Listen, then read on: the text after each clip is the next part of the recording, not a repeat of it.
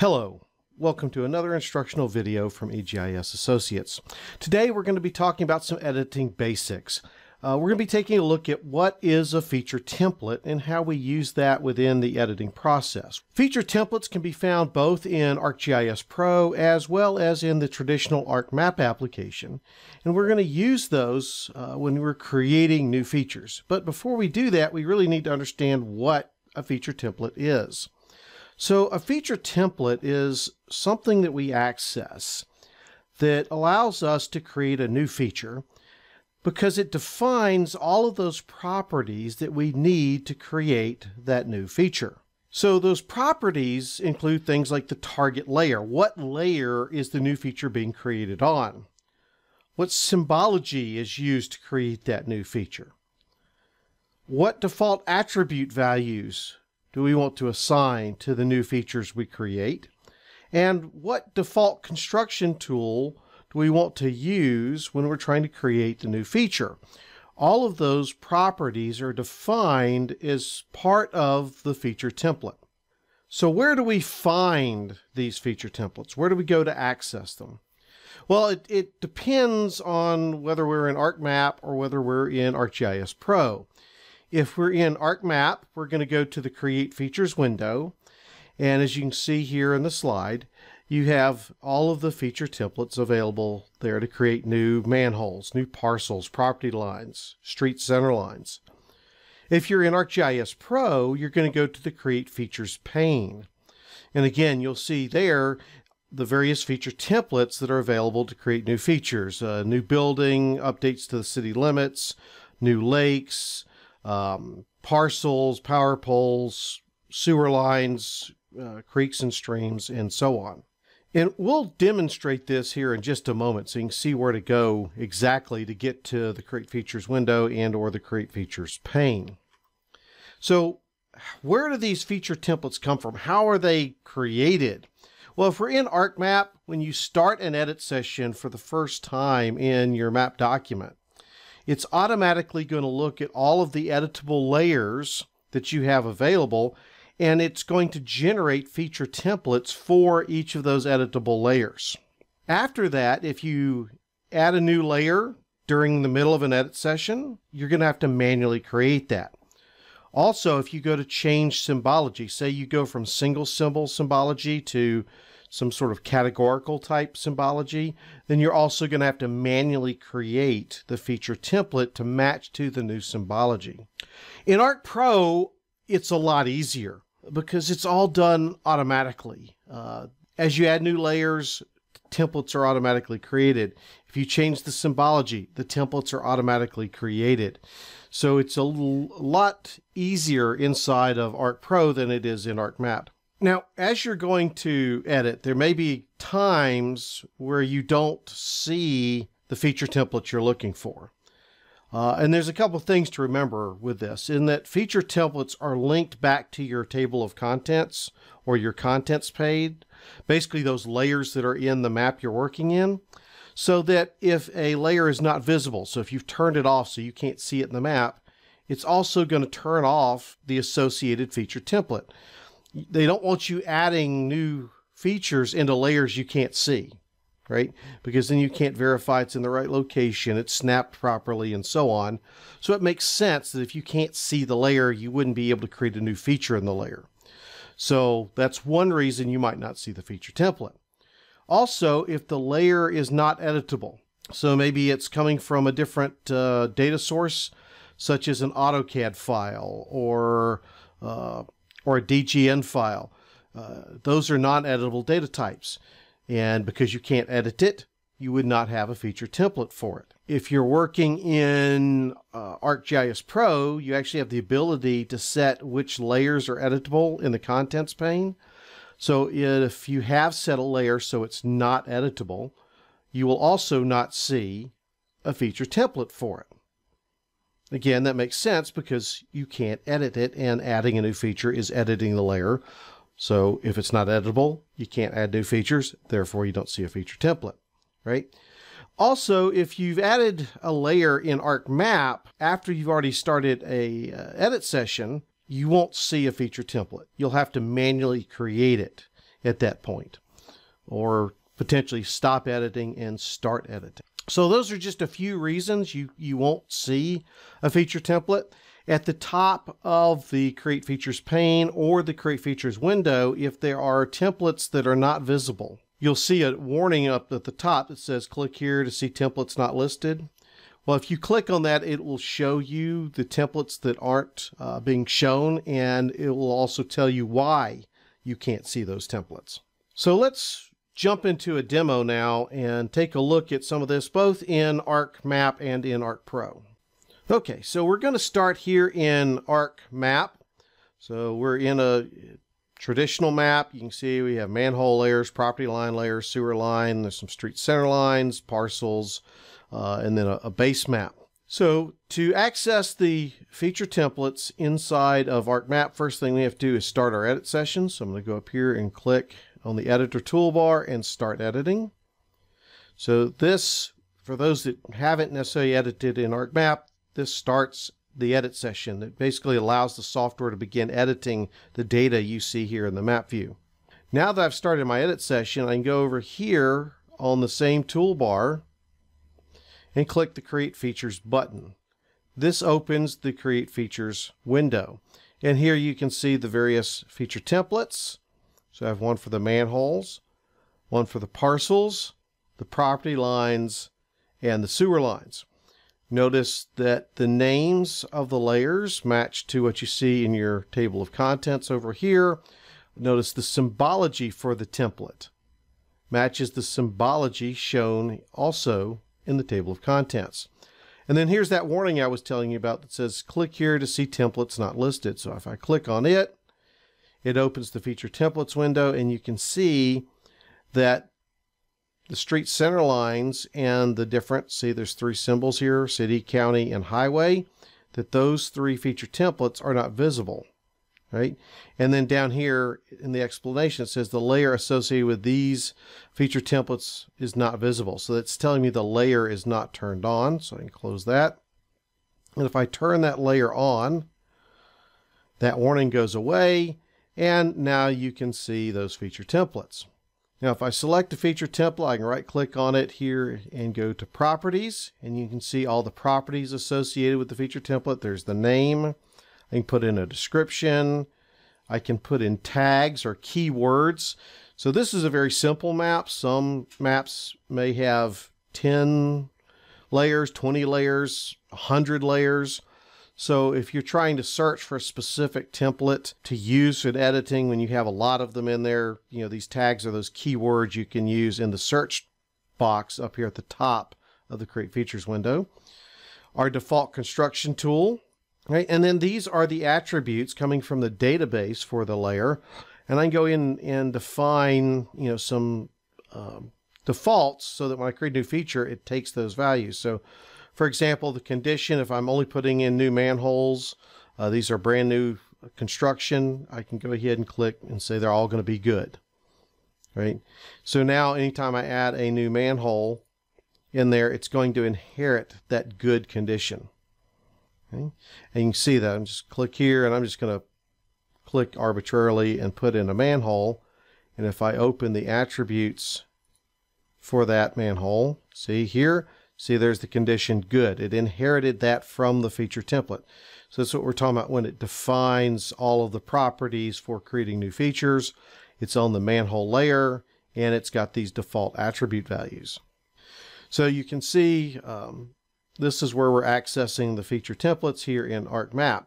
Now, if I come in and I change a layer, say the sewer lines here, and I change the symbology for it, and I'm going to go change it from single symbol to categorical based off of, say, the pipe material. And all those values. I'm going to update the color ramp and go OK.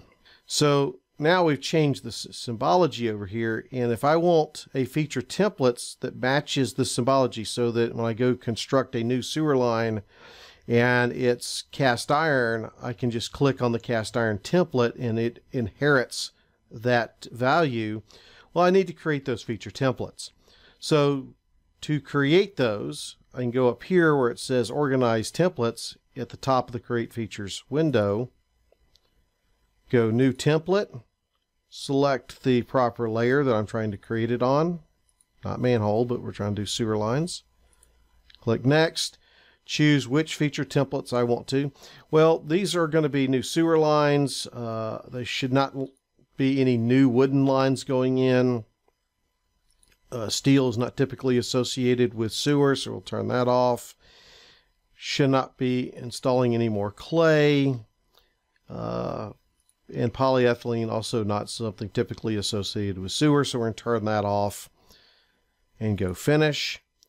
And so now you can see it's created the new feature templates that I wanted. So cast iron, PVC, and ductile iron. I can now close the organize window. And now I have these.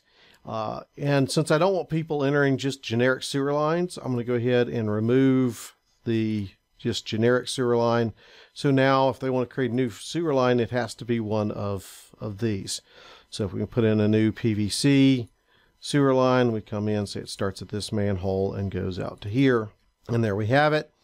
And again, if we open the attributes, you can see that there's the material PVC already picked up. And then I'd come in and start putting in, you know, my other attributes. It's a 10 inch line and oh, there's conditions. Go ahead and make it good because it's a new line. So we, would fill in those attributes. And then of course, uh, once we've filled in those, we would come back over here and save our edits. I'm not going to save my edits because this is just for demonstration. But you get the idea of how these work in ArcMap. Now let's take a, a moment and look at it next in Arc Pro. Okay, so now you can see we're in ArcGIS Pro. Uh, we've got a basic map open here with several layers, light poles, power poles, city limits, buildings, and parcels. So to access the feature templates in Arc Pro, the first thing we do is go up here to the Edit tab in the ribbon, and then we're going to click on the Create button here, which opens the Create Features pane. So again, you see the Create Features pane over here on the uh, right side of the interface. And again, click here to see templates not listed. That's uh, same or very similar warning that we saw in ArcMap. If I click it, you can see these are all the templates that are not being displayed. And if we expand those, it'll tell us why um, why we don't see the template, right? So in this case, the layer is marked as not editable and the layer is not visible. So this would be the light poles. And if you go over here to the contents pane, you'll see that light poles are not visible. They're not turned on. And then if I go over here to the, the button that looks like a pencil, this is list by editing. You can see it's not marked as an editable layer. Matter of fact, the only layer that's listed as editable right now is parcels.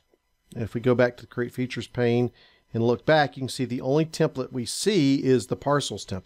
So as we go back and we start turning on or making other layers editable, you'll see new feature templates appearing over here in the Create Features pane. Now you notice I've set light poles and power poles to be editable, but uh, the templates did not appear. And that's because they're still not visible. Once I make them visible, now those templates appear over here in the Create Features pane. In each one of these, uh, again, I've got properties. So if I click on the template, I have it selected. I can click on the blue arrow here. And this takes me into the properties of, of this to some extent. I can see the uh, fields that are available. I can see the construction tools. If I right click on the template name, I can get further into the properties. So this actually opens the template properties window. And I can put in the description, the tags, just like we could in ArcMap. This is where I can assign not only the default tool, which is highlighted by the little radio button here, but what tools the user can actually use to create the new feature. Okay, so in this case, because it's a building, we don't want people freehanding buildings in. Buildings tend to, to be a little bit more structured than that, so we've disabled those tools. The only tools that people can use are the autocomplete, so a building that's next to another building, like we have in an urban area. The right angle tool, because buildings often are constructed with, well, what's supposed to be right angles, not always the case. Uh, trace some other existing features, and you see that these are just the tools that we have allowed uh, the user to, to use. And it's simply by checking these boxes. So if I want to make the some of these other tools non-available, we'll just check those boxes and those tools will not be available. And You'll see that change up here. And then if I go down to attributes, this is where I'm going to go in and not just a, a, I can assign the you know default value in there, but I can also highlight it as a required field. So if I say estimated height is one of the required fields, when I click OK here, when I go back to those templates here in the create features window, you can see now when I go to um, create a new feature, I need to put in the values for those fields. And now when I go to create that new apartment, and notice this only applies to the apartment. When I put those in, it'll assign those values to it. Right, so if I say it's going to be a, a four-story uh, building and the estimated height on those is say uh, 48 feet. So now if I go in and I say draw a new building, say in this parcel here,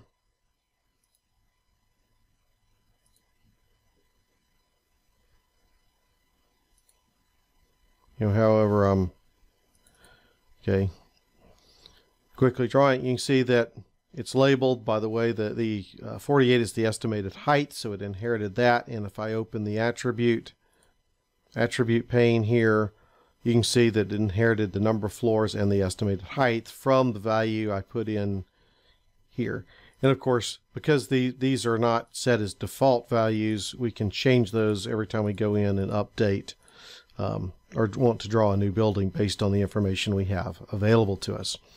The other nice thing with Arc Pro is that if I do come in and I add a new layer, so go in here through my catalog pane and say add in. Okay, so say we go in and we add a new layer like the zoning layer. You can see that it automatically created a feature template for zoning. But if we come in and we change the symbology for that layer to show or indicate its zoning classification, and we're going to pick the zoning field. So notice it went ahead and added, you know, all the values in there. If I want to pick a different color ramp, I can do that. But notice it's automatically generating the feature templates over here as I'm making changes to the symbology. I don't have to manually go in and create those templates. It's automatically updating those for me, unlike in ArcMap, where we have to manually generate those. So from this perspective, Arc Pro is much easier to, to work with. So that's kind of the, the basics of working with feature templates and what you can do. So these are used to create new features uh, within various layers and they really help us define all of those properties that we need to create those new features. So there you go. Hopefully you now have a better understanding of feature templates, how they work in both ArcMap and in ArcGIS Pro, and really understand the, the purpose within the editing process. So if we can ever help you really consume the power of place, to make use of your GIS technologies, don't don't hesitate to reach out. We provide a, a wealth of services from enterprise implementation, systems integration, strategic planning and needs assessments, rent services, training support, and, and so on.